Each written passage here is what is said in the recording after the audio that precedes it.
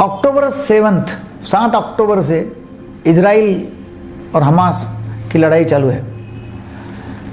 लड़ाई में काफ़ी लोग अभी तक मर चुके हैं। पूरे दुनिया में इसका टेंशन है।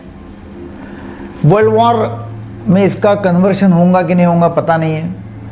और ऐसे इसमें जो न्यूज़ आ रही है वो तो ऐसे ही कि इसराइल में, पैलेस्टीनियन में मतलब काफ़ी सारे मेंटल हेल्थ इश्यूज़ आ रहे हैं, बहुत सारे। वो तो वहाँ आना स्वाभाविक है।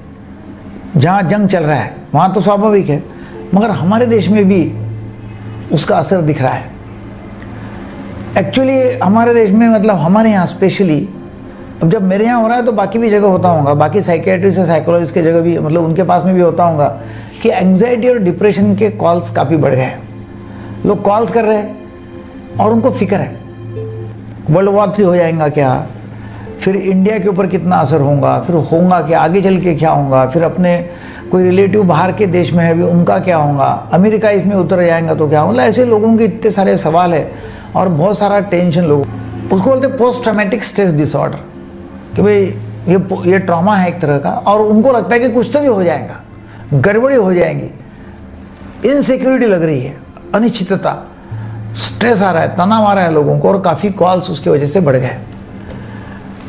और वैसे ही जो लोग शेयर मार्केट में हैं काफ़ी सारा पैसा शेयर मार्केट में घुसाया हुआ है शेयर मार्केट में रोज काम करते हैं, उनके तो स्ट्रेस बहुत ज़्यादा बढ़ा हुआ है कि शेयर मार्केट इतना ऊपर नीचे ऊपर नीचे हो रहा है।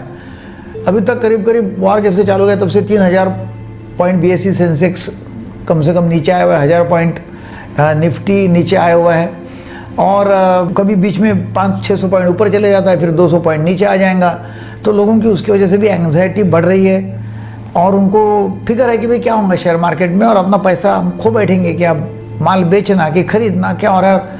काफ़ी सारे लोग एंग्जाइटी का और डिप्रेशन का शिकार हो रहे हैं। मेंटल हेल्थ इश्यूज़ वॉर से बढ़ जाते हैं डेफिनेटली और इसके इसमें हमने इतना ही करना है अभी मैं इतना ही बोलूँगा कि भाई रिलैक्स रहो मेडिटेशन करो और वैसा भी शेयर मार्केट में ऑप्शन ट्रेडिंग में जाना शेयर बाज़ार ही बोलता है मतलब शेयर से भी, भी बोलती है। कि दस में से नौ लोग पैसा खोते हैं। तो लिव अपार्ट डिस मतलब ये हो रहा है अभी इसराइल का जंग चढ़ चल रहा है मतलब वो तो ठीक है, मगर अदरवाइज़ भी ऑप्शन ट्रेडिंग में जब तक आप बहुत पढ़े लिखे नहीं हो, बहुत एजुकेटेड नहीं हो, तब तक ऐसे न्यूज़ के ऊपर टिप्स के ऊपर कभी नहीं करना चाहिए। तो टेक केयर खुद का ख्याल रखिएगा, अपने परिवार का ख्याल रखो। और ये वीडियो ज़्यादा से ज़्यादा लोगों को शेयर करो, बहुत ज़्यादा एंग्जाइटी लग रही है तो एंटी एंग्जाइटी मेडिकेशन ले सकते हैं। सेल्फ हिप्नोसिस कर सकते हैं, मेडिटेशन कर सकते हैं। अपना ख्याल रखिएगा, क्योंकि आप बहुत बहुमूल्य हो। Thank you very much